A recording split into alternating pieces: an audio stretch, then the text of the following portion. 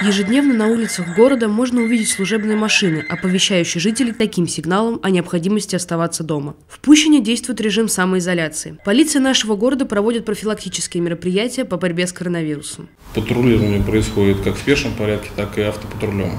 Также э, на служебной машине с проблесковыми маячками включается специальное сигнальное устройство, из которого доводится до жителей информация. Патрулирование проходит ежедневно. Днем каждые 2-3 часа, а вечером и ночью машина проезжает раз в час. Но этим профилактические меры полиции не ограничиваются. Полиция полностью отрабатывает лиц, которые вернулись из-за рубежа. Они обязаны в, 14, в течение 14 дней находиться дома.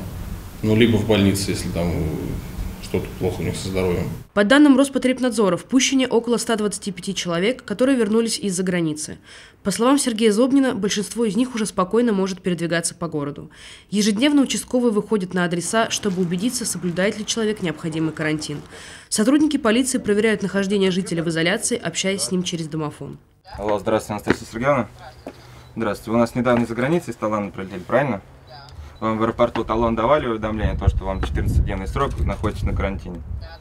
Что вам нельзя покидать а, дом Смотрите, при малейшем ухудшении самочувствия необходимо сразу же незамедлительно вам обращаться к врачу. С жителями, которые не должны соблюдать карантин, также ведется работа. Особое внимание полиция уделяет пущенцам старше 65 лет, так как они находятся в зоне риска. На улице сотрудник вручает им уведомление, в котором расположена анкета, а также ссылка на сайт и номера телефонов.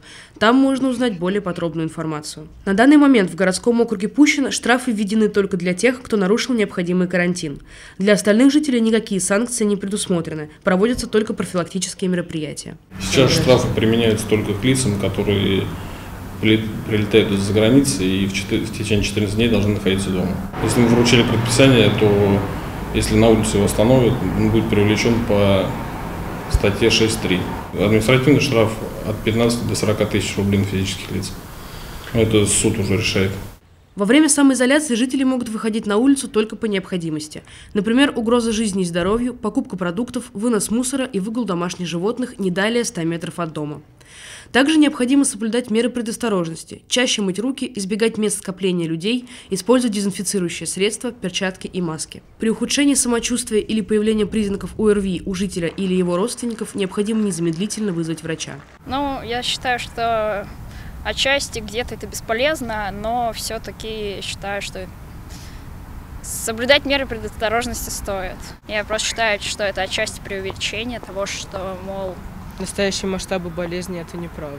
Ну, возможно, как-то так. В ситуации с коронавирусом есть факты, которые не допускают двусмысленных трактовок. Среди них число умерших.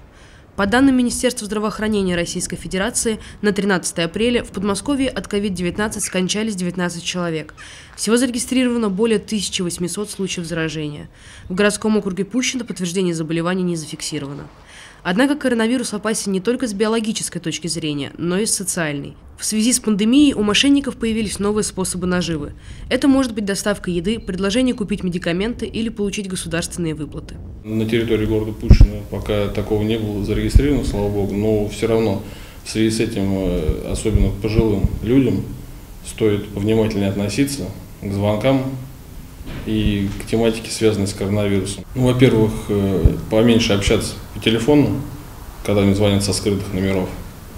И, в принципе, можно всю информацию перепроверять также в полиции, когда им поступают звонки. Если житель столкнулся с угрозой мошенничества, необходимо сразу же обращаться в полицию. Сотрудники незамедлительно отреагируют на вызов, проверят информацию и окажут помощь.